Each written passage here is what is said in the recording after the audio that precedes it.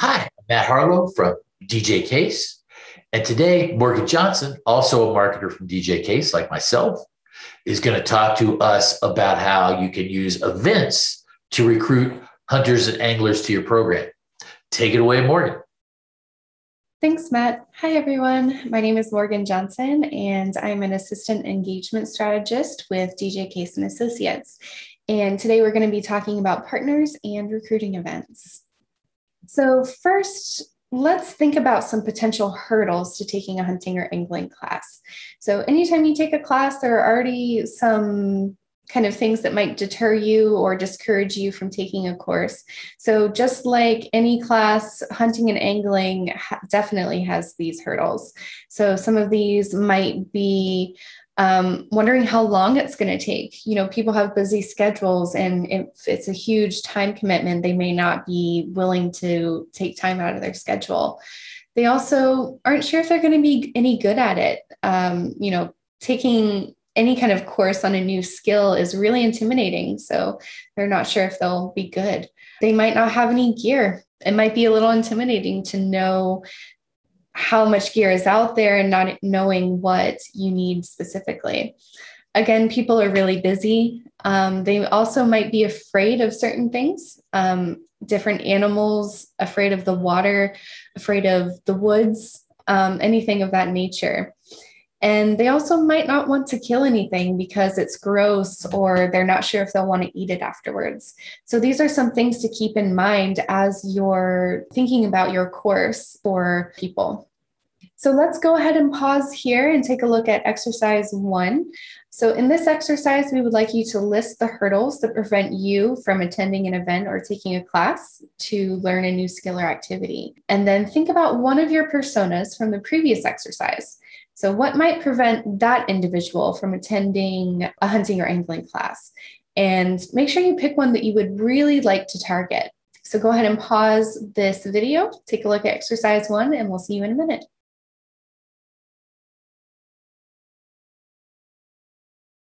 So there are ways you can overcome these hurdles in the development of your event.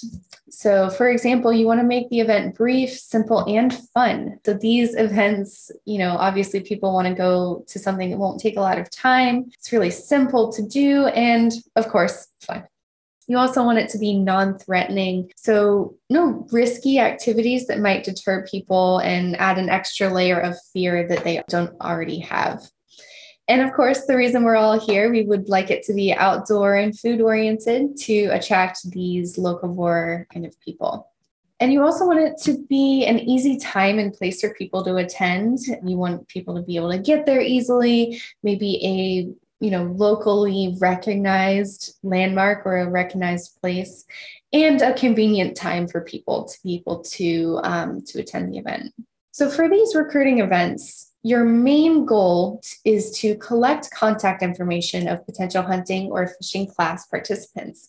So these events you don't want to recruit there you want to recruit them later so the goal for these events specifically is to get that initial interest that list of contact information so you can throw your efforts into recruiting later the event kind of serves as a bait to attract these food oriented individuals to spark that interest in order to encourage them to attend a class later.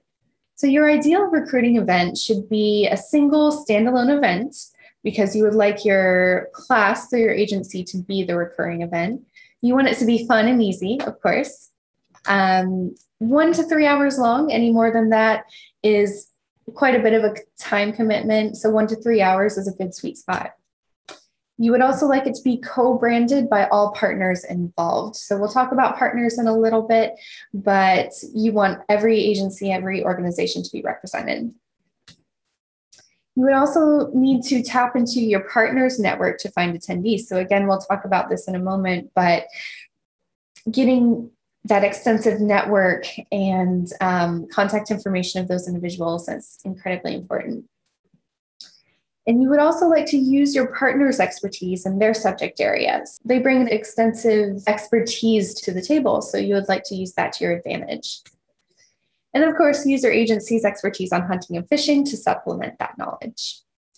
And of course, just like any good partnership, you want to share workflows between your partners and your agency as well.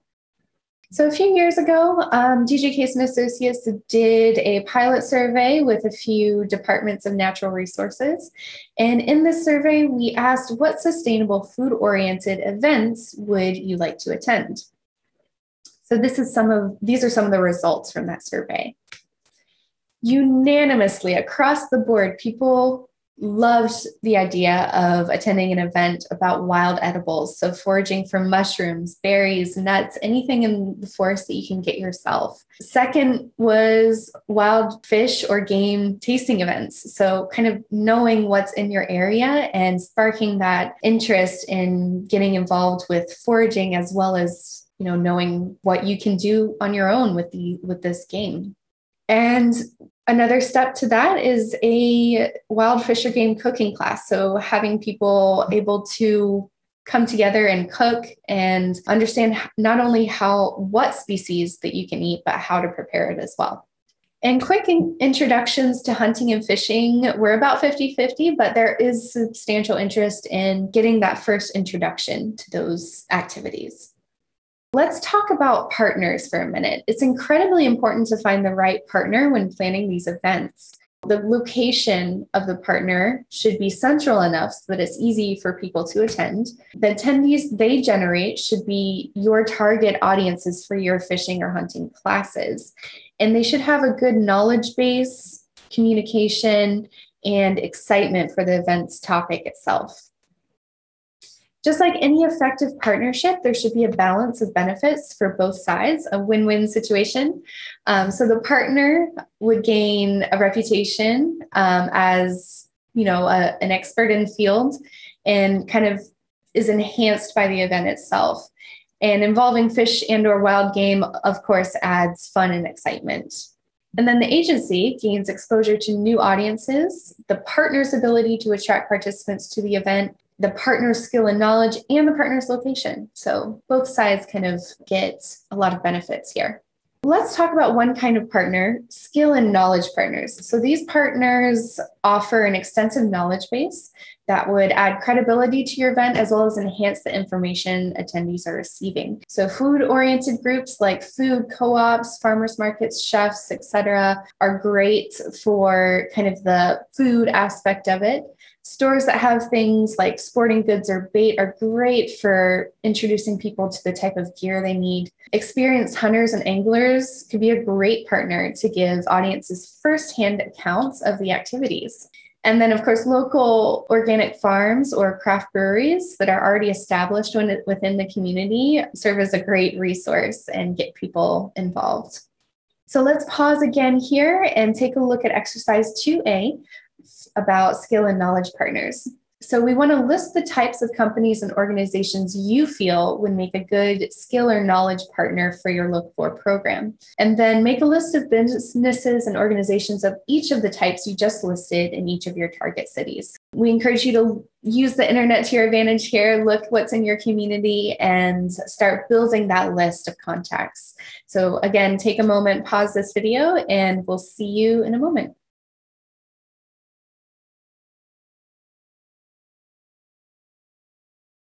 Let's now look at some skill and knowledge event examples. So, as we saw in our pilot survey, wild fish and game cooking classes are incredibly interesting for people. Um, you can give your attendees a hands on experience by partnering with local chefs or cooking experts to give a class on huntable or fishable species. This can be hands on or a demonstration, or even a series of standalone events. At these cooking classes, you want to encourage independent signups rather than groups so that you are getting that contact information like we mentioned earlier. You want it to be about two to three hours each. Again, any more than that um, is a huge time commitment. So, this is a good sweet spot. And you want one type of meat or fish per event. So, if you're doing a series of standalone sessions, have a different piece of meat featured at each one. And you would like to have an agency representative present to field questions, be a source of information, a contact person. Just remember that we are not recruiting at these events. We're using this to spark interest. We are recruiting later. So make sure your agency representative is aware of this. So let's look at some examples of skill and knowledge events. So kayak fishing or paddleboarding is, paddleboard fishing is one of the fastest growing outdoor activities. So hosting an event, introducing people to it would gain a lot of attention. Even existing kayakers will show interest as many existing kayakers become anglers. And partnering with a kayak shop or other entity that could provide gear could essentially improve their reputation and get their name out there. While the agency itself would gain potential attendees for a program as well as new licensed anglers. So, as we talked about at the beginning, um, gear is a huge hurdle for people. They don't know, it's really intimidating going into a store like Cabela's and seeing all of this gear and not really knowing where what you need or where to go. So, um, newbies would need to learn this and know what gear they need in order to be prepared. So, sporting goods stores like Cabela's and Bass Pro Shops can be excellent partners in gear events wherein um, attendees can learn about the gear involved in hunting or fishing and eliminating that knowledge barrier. So, the retail partner gains a reputation as being an expert on the topic new customers and new sales. And of course, the agency gains a reputation for considering the new needs of new hunters and anglers, as well as new potential program participants, as always. So let's pause again here, take a look at exercise 2B. And um, for this exercise, we would like you to list the types of skill or knowledge partners you wrote down in the previous exercise and list two types of events for each of those types of partners. And keep in mind, this is a balanced partnership. So, um, what do you bring to this kind of partner, and what does this kind of partner bring to you? So, think about that. Um, so, go ahead and do this exercise. Um, take a moment, and we'll see you in a minute.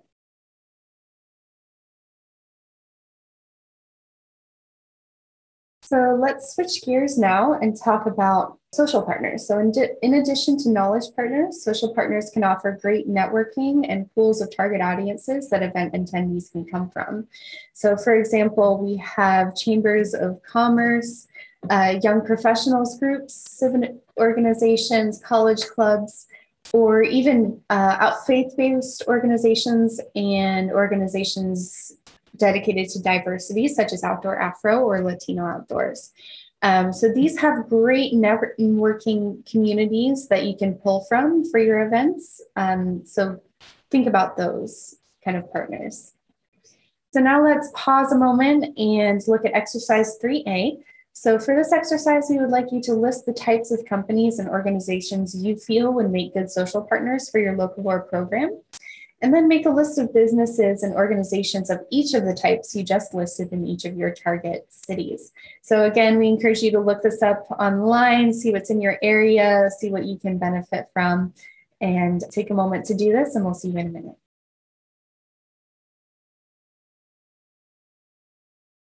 So now let's talk about some uh, social event ideas. So, as we saw before, wild game dinner tastings are a great kind of event because it not only provides attendees with an opportunity to sample the kinds of foods they can hunt and fish for, but also a chance to network and socialize with other people in their community who have similar interests. So, after all, social support is incredibly important when starting a new activity. So, these kinds of events are great for that. Um, so attendees can sample wild game or fish. It could be prepared prepared in advance by a chef. Um, and it could even be prepared paired with a local wine or craft beer to encourage that kind of local community. And at these events, you would like to have an agency representative present to field questions and be that kind of contact person. But again, remember, we are recruiting at these events. We are using this as an opportunity to spark interest and field questions. We are recruiting people for the class later. Another kind of social event can be a kayaking or hiking trip. Um, so They're great event opportunities to spark interest and a connection with the water and land. An agency representative would lead the trip and be able to point out hunting or fishing related information or locations when applicable. And it also provides an opportunity for attendees to network with each other, which would encourage them to start up new outdoor activities together. And as we saw from our pilot survey, foraging events for wild edibles are incredibly interesting for locavore oriented people. It's a natural interest for anyone interested in local sustainable food. It's an easy first step rather than um, killing an animal, and it gets participants out into the woods and build that connection. And even many state or county parks already host foraging events, so you can use this to your advantage and um, use that as a great opportunity to build this. So let's pause again here, look at exercise 3B. For this exercise, we're going to list the types of social partners you wrote down in the previous exercise, and then list two types of events for each of those types of partners. So, what do you bring to this type of partner? What does this type of partner bring to you? We want to make sure that is balanced. So, take a moment and think about this, and we'll see you again in a minute.